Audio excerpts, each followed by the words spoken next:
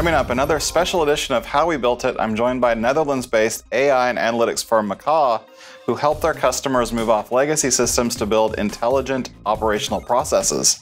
Now, we're going to look at how they're helping to modernize the residential and commercial water supply in Holland with IoT and proactive analytics using Azure Synapse.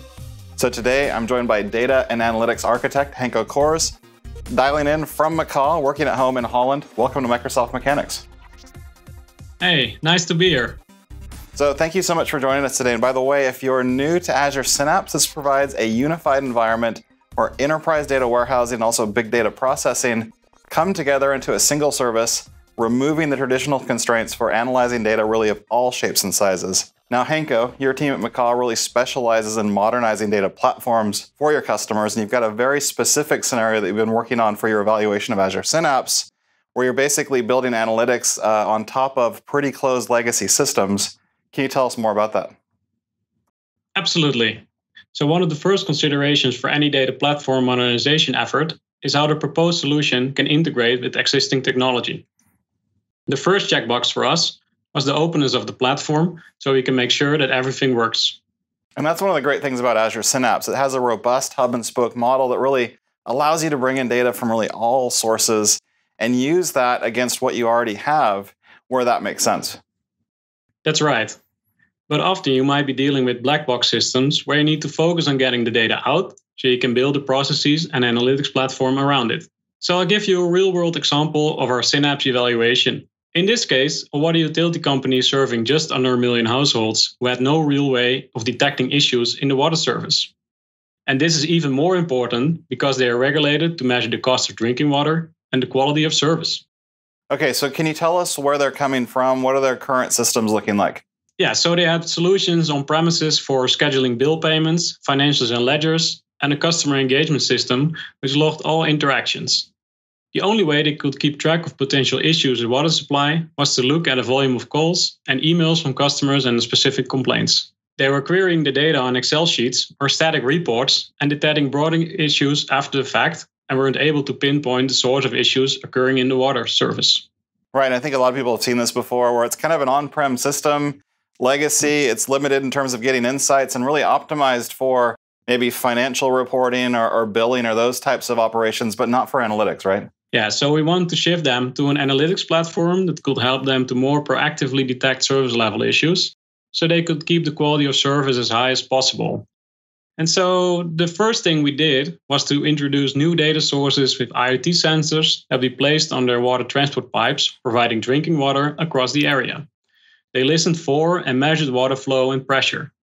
We also placed input and output sensors on distribution boxes to pinpoint water leakages. This data was converted to JSON for stream analytics on the edge.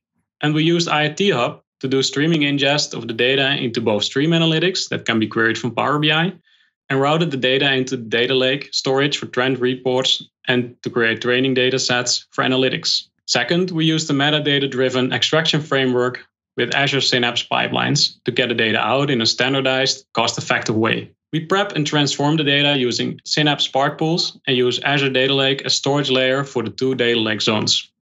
One zone for more raw data storage in the bronze layer, and one for more filtered and prep data in the silver layer. This approach enabled us to merge the information from the SAP systems to match locational telemetry from the sensors with customer and asset management data. Correlate that with logged customer engagement and complaints, and also leverage historical data from these systems. And from here, we're able to directly explore and query the data interactively using Spark pools and Synapse SQL serverless compute.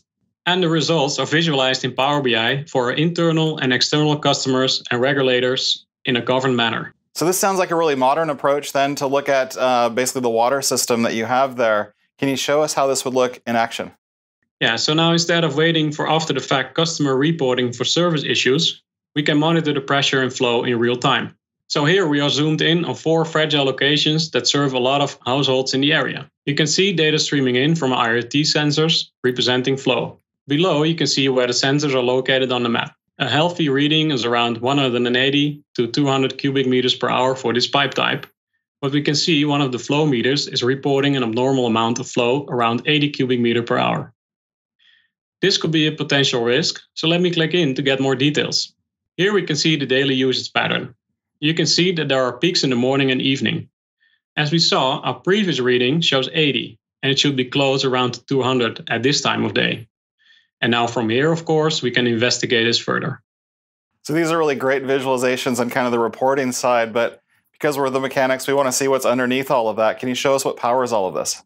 Yeah, sure, because there's a lot going behind the scenes here. Let's get into the Synapse workspace and I'll show you.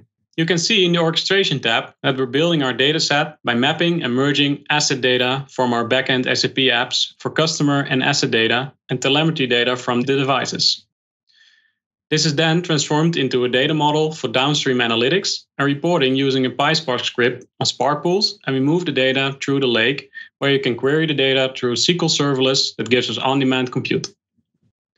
The great thing here is that we can query CSV files in the, in the lake using T-SQL we all know and love, like the asset master data. Power BI just sees this as a SQL table, but in fact, it's a CSV file on the data lake. And this is really powerful and significant because it really opens up your data lake to legacy apps as well. Yeah, it does. Something we couldn't easily do before. And we can also apply additional SQL security capabilities like row level security on top of flat file formats if you want and need. All right, so this is good, but it's still near real time, but still reactive. Can we flip this and kind of move this into predictive realm and uh, kind of start to predict maybe service level incidents that might happen in the future? Yeah, right. What I just showed you is still reactive based on near real time data, though. But we can use the data now to preempt future issues. So let me show you the model we built for service degradation over time that merges historical data with sensor data. This is our PySpark notebook. We are using flow readings to predict failures within 24 hours. We are looking over the data from 50 sensors, asset master data, and data from non-service outages. So we can start building the model now. And since we're doing analytics, there are a lot of components to this. Remember when I queried master data earlier? We are pulling in that data too.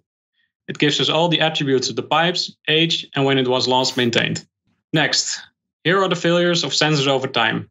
This is where we are looking for deviations in the data from sensor data in a 3 hour period and a 24 hour period. So we took all of those different inputs, all of the sensor readings, outages, material types, and trended over time against our model. And we can see that there is a high potential failure of the water pipe in the area shown on map in the next 24 hours. And really, this was not possible before with this amount of effort. This is really amazing work, and I could also see how this could prevent cases now where people don't have water. And you also have the basis for scaling insights on water consumption and water efficiency. And it's really great to see how big data and analytics really impact the services that we all use every day. So thanks so much for sharing your Azure Synapse evaluation with us today, Henko. And if you liked hearing from Henko, please also check back to the rest of our How We Built It series at aka.ms slash Azure Synapse series to learn from other early adopters also kicking the tires with Azure Synapse. Thanks again for watching. We'll see you next time and goodbye for now.